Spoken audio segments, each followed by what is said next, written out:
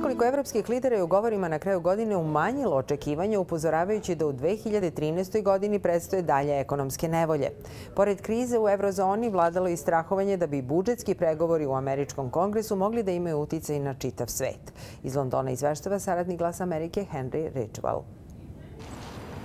Protekla 2012. bila je burna godina za Evropu i nemačka kancelarka Angela Merkel završila godinu u tumurnom tonu, upozoravajući da će predstojeća godina biti još teža.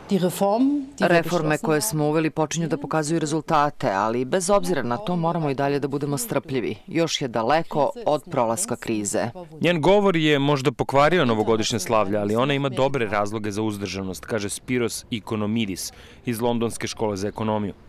U Nemačkoj će se za otprilike 10 meseci održati izbori, što znači da pre zatvaranja tog izbornog ciklusa ne može da se dogodi ništa stvarno drastično. Ako Angela Merkel želi da pobedi, mislim da ćemo videti pomalo odlučniju Nemačku, koja će da kaže da će sada morati da se unesu prilično velike promene u evropske institucije. Iako nije članica eurozone, Britanija takođe pokušava da prebrodi promene u Evropi. Mnogi poslanici iz stranke samog premijera Davida Camerona žele da Britanija potpuno napusti Evropsku uniju. U ovogodišnjem govoru Cameron je takođe bio uzdržan. Britanija je danas u globalnoj trci ka uspehu. To je trka u kojoj su zemlje kao što su Kina, Indija i Indonezija, trka za poslove i buduće prilike. Prema tome, kada ljudi kažu da možemo da usporimo smanjivanje naših dugova, mi kažemo ne. Dugovi dalje vuku naniže i špansku ekonomiju.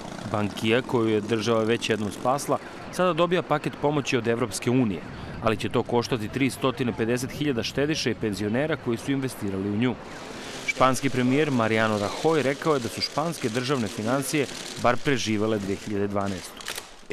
Da li je izbegavanje pomoći dostignuće godine? Ne. Rekao bih da je najvažnija stvar ove godine bila promena kursa, korekcija smera ekonomske strategije. Soni Kapur iz firme za ekonomsku analizu Redefine kaže da je to samo zavaravanje. Izgledi za rast nikada nisu izgledali loši. Nezaposlenost je na rekordnom nivou, a politički prostor i politički kapital koji je na raspolaganju za rešavanje se većih ekonomskih problema u stvari se smanjuje.